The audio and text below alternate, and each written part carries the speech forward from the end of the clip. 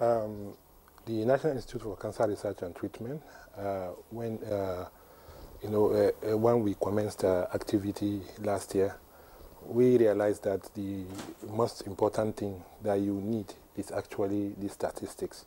Without data, you will not be able to plan accordingly. You will also not be able to uh, make projections and implement the policies as you may require. So uh, first and foremost is actually to think about having a registry whereby all uh, cancer information on patients can be fed into, which is centralized, uh, which we have launched at the National Institute for Cancer Research and Treatment headquarters.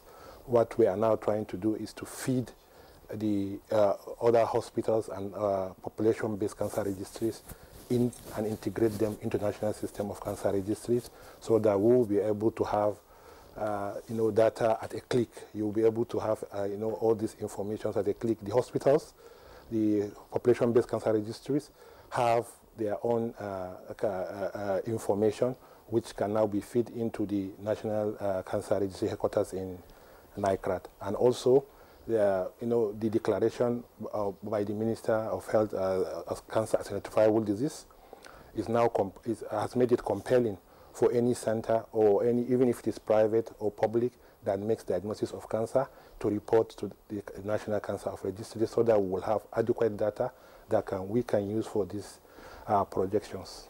All right. Uh, thank you very much.